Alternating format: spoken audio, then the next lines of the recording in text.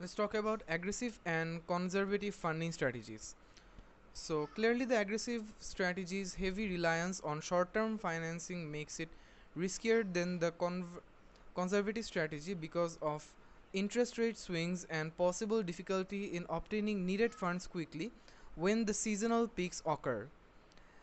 On the other hand, the conservative strategy avoids these risks through a lock-in interest rate and long-term financing but is more costly. Thus the finance thus the final decision is left to the management. So for aggressive funding, uh, the risk is quite high, which is actually good for the seasonal businesses uh, which have a climax in seasonal times. And for the conservative funding is good for the businesses that are static, they are running normally throughout the year.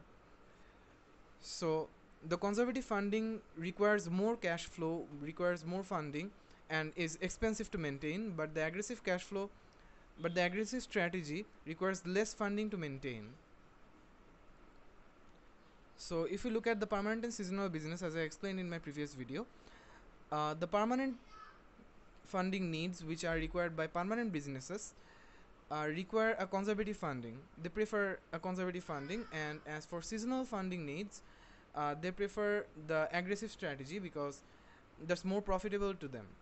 As they need to go throughout the year and they do not have a static sales, they have a climax in a certain period of time.